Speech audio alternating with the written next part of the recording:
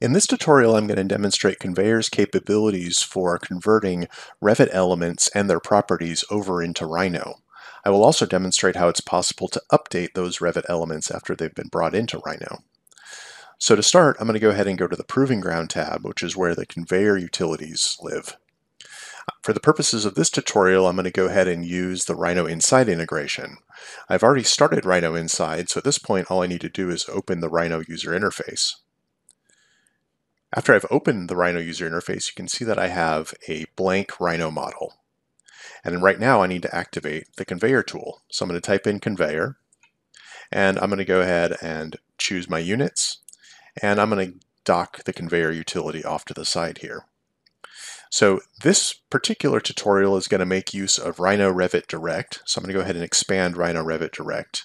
And I'm mostly going to be using the get from Revit command.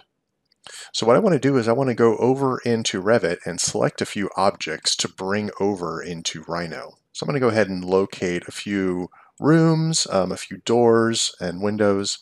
Um, maybe I'll start with a couple of these walls here. I'm going to go ahead and select on some of these wall objects. And I'm also going to select a few of these doors here. And at this point, what I can do is simply go over into Rhino and choose Get from Revit. And what this is going to do is Conveyor is going to build up the geometry of the selected objects and have them represented inside of Rhino. So now we have a selection of objects representing walls and doors. And what's uh, new about this capability as well is that these objects will have inherited the Revit properties for these objects. So not only do we have geometry for reference, if I click on my wall and I go over into Rhino's default object properties, you can see that there is an attribute user text section. This wall object will have inherited the Revit properties that are available inside of, of Revit. So I can find, for example, um, offsets, unique identifiers, I can see lengths um, and areas. Um, all of those properties have been migrated across. So if I wanted to use these properties for different purposes inside of Rhino, they're available here for reference. So if I, for example, if I select this wall versus this wall, or if I choose this door, you'll see that those properties are uh, available there.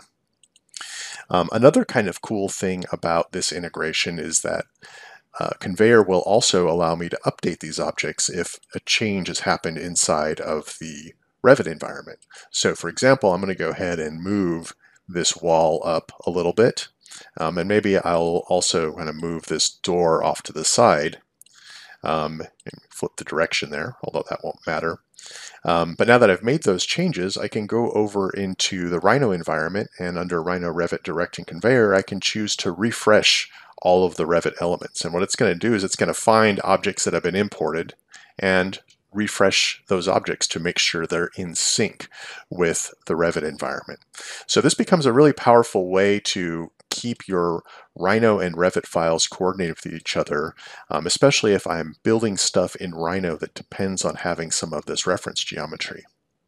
Um, for the purposes of demonstration, I'm also going to select some of these rooms here, as those rooms can sometimes be important uh, elements to coordinate.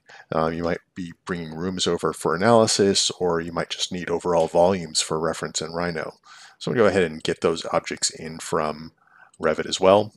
Um, and that's going to construct the overall volume of those rooms in 3D uh, for use inside of Rhino. And you can see that those room properties have also been brought over uh, for review as Rhino user text, and those are again available under um, the object properties.